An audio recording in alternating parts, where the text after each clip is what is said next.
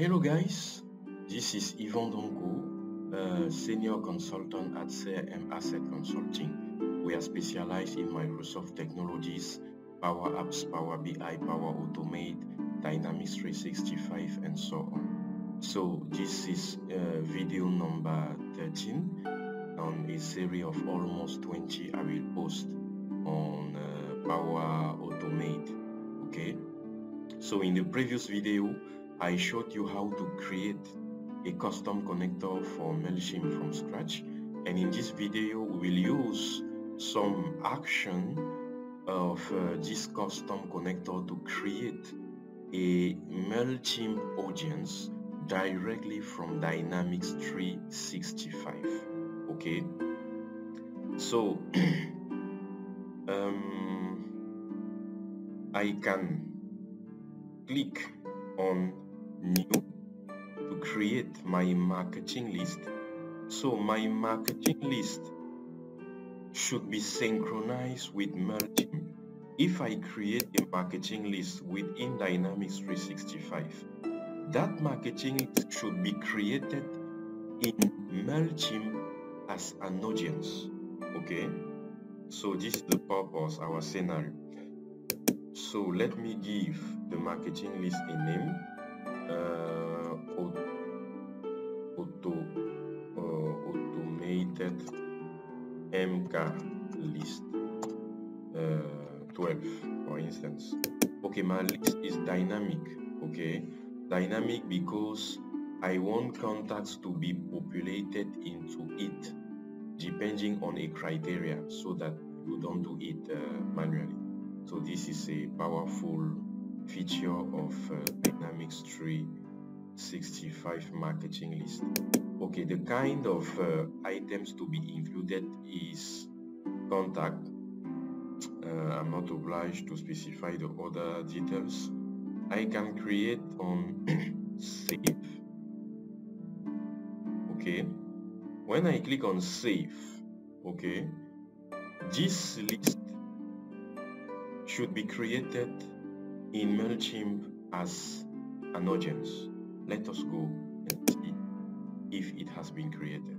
Name is automated MK list 12. Refresh. To see. It is loading. Let us be patient. It will not take time. Okay. Automated MK list 12 created today. Okay. At uh, 26th of March. Okay, it works well and the flow is simple. Let us see the flow.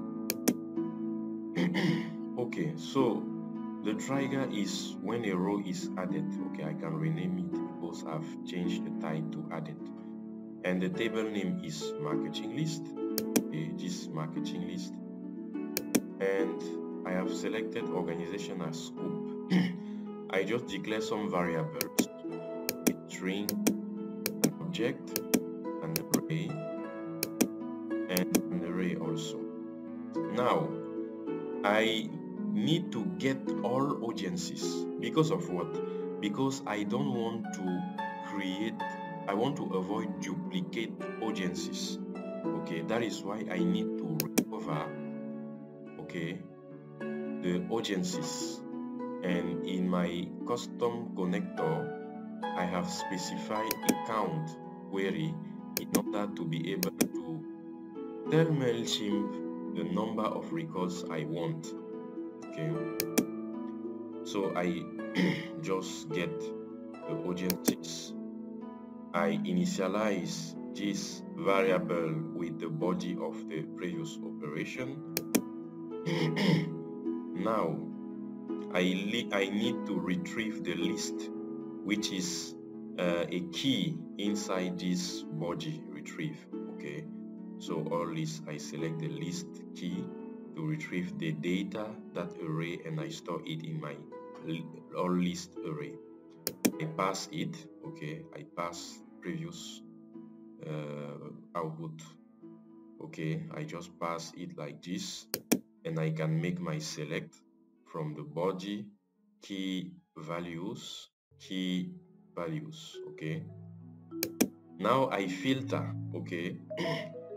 This is the body of the previous operation and I just want to test if the item item is the current item from from this array. Item list name is it equal to the name of the list? So this is coming from the trigger okay? From the trigger. I just test test if it is if empty body okay is equal to true empty body of the filter okay is equal to true I will say that that list name doesn't exist yet. I can create it. Now I come on the yes branch. New audience. I pass the name all these required fields and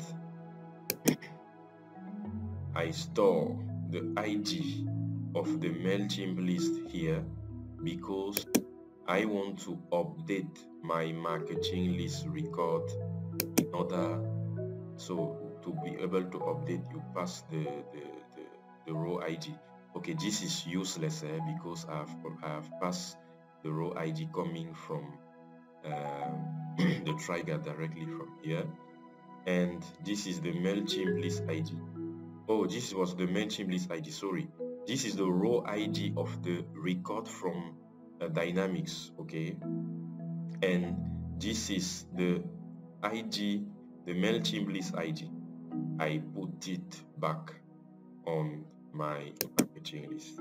So if i come here and i okay you see this mailchimp id is coming from the mailchimp okay side so from here i just update the record putting this uh, list ID here.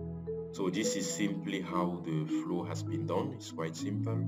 And uh, in the next video, we use some other actions of this custom MailChimp custom connector. Thank you for watching and see you next time for another video on Power Automate.